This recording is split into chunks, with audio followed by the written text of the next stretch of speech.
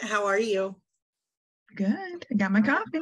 Yep, same. So, um, it's a get real, y'all. I just sent a message to these two and said, "Hey, I got to talk. Anybody available?" And look, they both showed up. um, so I got to get real, and I need to tell you my plan, and I need to get feedback because as you know, it has been a struggling. I don't even like to talk about it anymore because I feel like if it were a drinking game, we'd all be drunk. Like my house. Right, back up. This my, is the aha moment that we spoke about in episode, our last episode, 115. This is uh-huh. it. This was this my aha what we're moment. doing. Molly's aha moment. We're getting I, real about it. I'm sharing my aha moment. So I'm trying to get a grasp on my house, on all of the 10,000 plus dollars worth of inventory that I still need to list. But it's all chaotic because we had downstairs remodel, blah, blah, blah. Well, that's coming to an end. We're at the very end. Furniture's back. We're getting a little nitty gritty. So, we in our book club, of course, are doing, oh, I lost my book, The Slight Edge. Um, and it's had me thinking a little differently about things. And in doing the slight edge and the little things that we do every day that make us productive and successful, I thought, how can I do that with the overall chaos in my house? Because mm-hmm. we talked about this at Boss with um, Susan and Melissa and talked about how ADD is a big thing with resellers. And we decided that maybe there's a lot of ADD resellers because we like all the um, little adrenaline kicks we get from reselling, the sourcing, finding something, the selling, the there's a lot of that for us. But on the flip side, inventory can be very overwhelming for us. So my brain has been on shutdown mode. I just can't get beyond the chaos. And it's how I've always been. My husband does well, but this is so massively beyond anything we've ever dealt with that I have just been a train wreck, have I not? I've been. I am probably more excited about this aha moment than you are, or as excited because I work with you. Yeah. All right, let's be honest, Libby. Be honest. This is the least productive I've ever been. Truth. Yeah. Correct. I yeah, mean, I can't, it is the least productive I've ever been in getting listings done and focusing on my job. It's just shut my brain down. So I had an aha moment. I had a big old brain fart, y'all. It was so big, it rocked my house. Okay. I am going to this weekend as we bring in, we have piles of buckets of stuff that are coming in our house to go back into the cupboards and the shelves and the whatever. I am going to bring one bucket in at a time. And for every bucket that we empty, which by the way, friends, I already have two boxes set aside for donate, yard sale, list, because it's not all coming back in my house. So I already have my three buckets in a room set up with signs. So we're ready to, what's going in goes in, the rest gets in its proper bucket. That I already have. I have decided, and we have a lot of buckets. For every bucket that I empty in the garage, I am going to bring it upstairs and fill it with unlisted items, seal it, and put it in the garage. And then we're going to bring the next bucket out, empty it, put it in the garage. I am going to get it all out of my house because having it everywhere shuts me down. It's there's just too much going on. I love so it. Way that I feel like I my brain can move forward is to clear it out, have my house the way I need it to be as far as distracting clutter, and then pull in one bucket at a time. Pull wow. in a bucket, get it listed. Once it's listed, then you can pull in another bucket out of the garage. But none of it, unless it's listed, and put away in my storage room is going to be allowed to come in my space. I love this. I also love that you weren't even at our Patreon group the other day and we discussed this exact same method in a different, Did you really? different yep. way. But we, yeah, this was some yep. other advice that we had talked about. Yeah. Yeah. So look at you.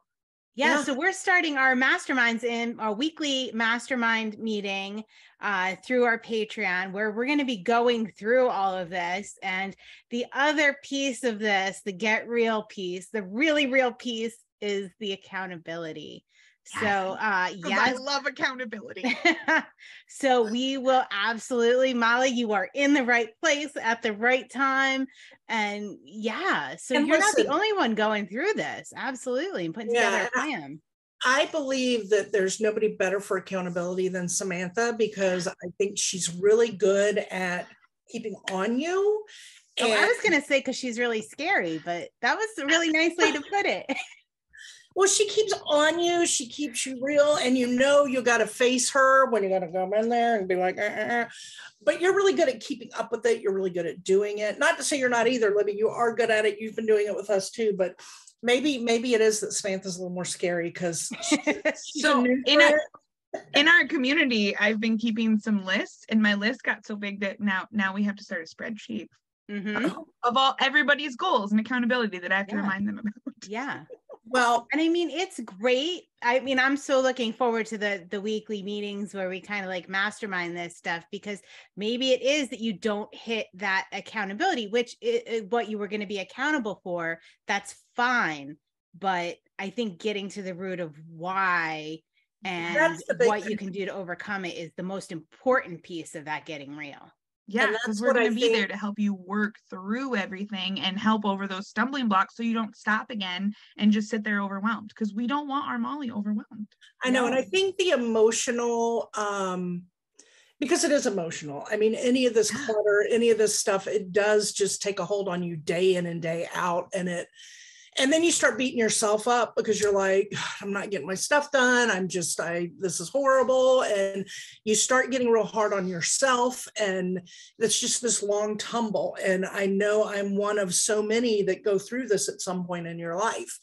And having an accountability group i think is going to be wonderful because i also think that one thing the three of us are very good at is supporting each other with with strength and positivity. Like we'll tell you when you got to change something, but it's out of love. And I think we are all three very compassionate people. Um, but we all three also will say, hey, let's get this done. Um, and I do like the idea, Smith, like you were saying, is that we get to the bottom of the why. The why. Mm-hmm. Like, why is this? Why have, I mean, I have some physical things that have happened in my house that have caused some of it, but that's not that's not it. That I can't blame it all on that. I mean, who goes sourcing when you have ten thousand dollars worth of product you haven't listed yet and add to the pile? But then, but then you also got to look at the ten thousand dollars worth of stuff that is there because you didn't ask for some of that. You didn't go and source some of that, and there are emotions tied to that, and a lot of people feel that.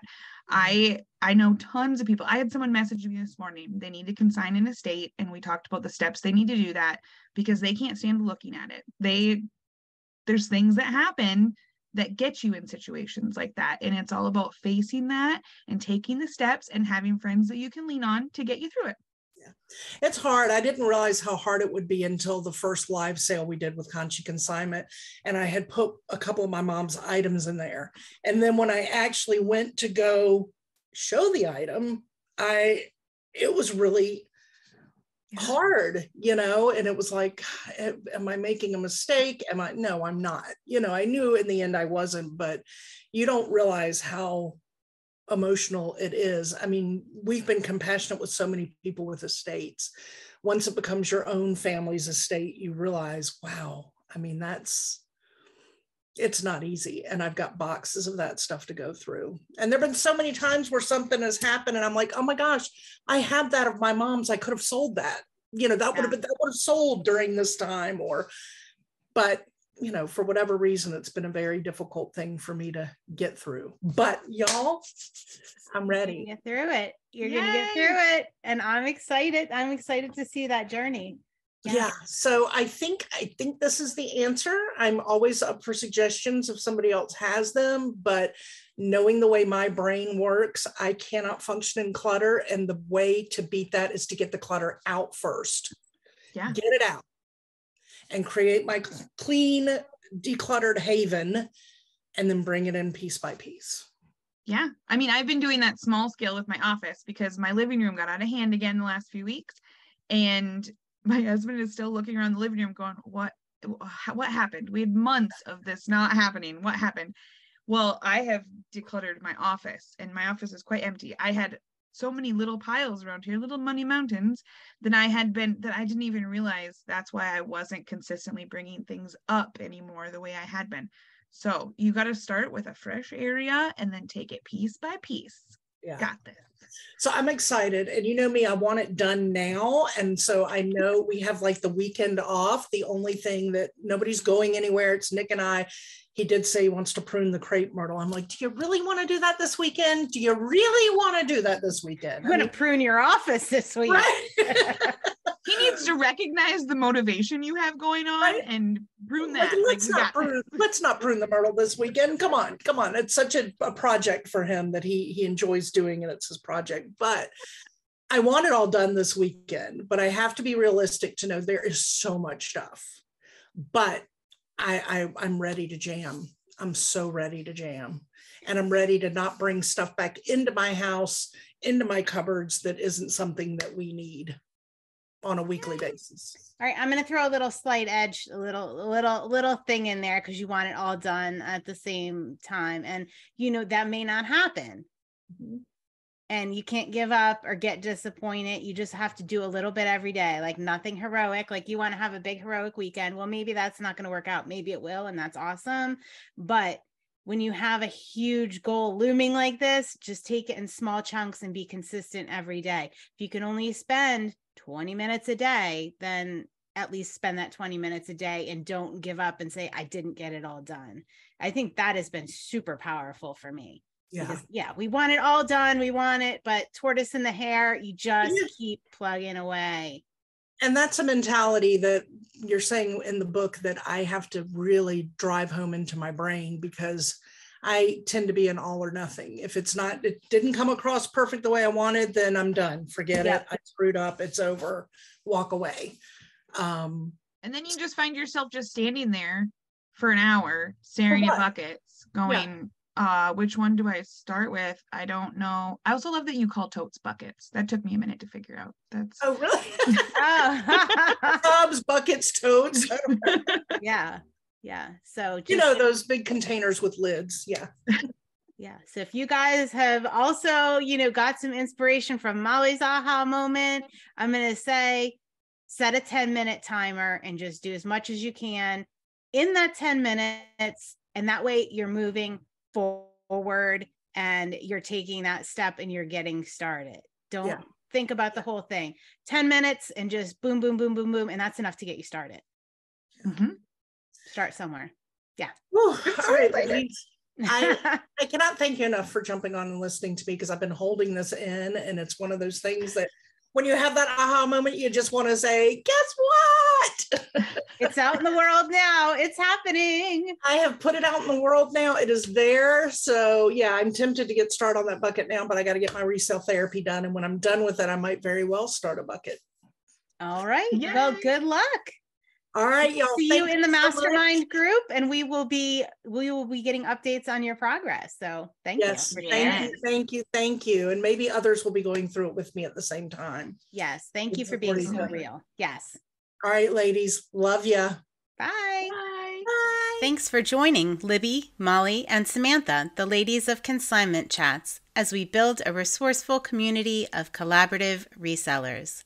Find all the ways to connect with us on consignmentchats.com. Episodes are available on YouTube and anywhere you get your podcasts. In addition, join our free private Facebook community.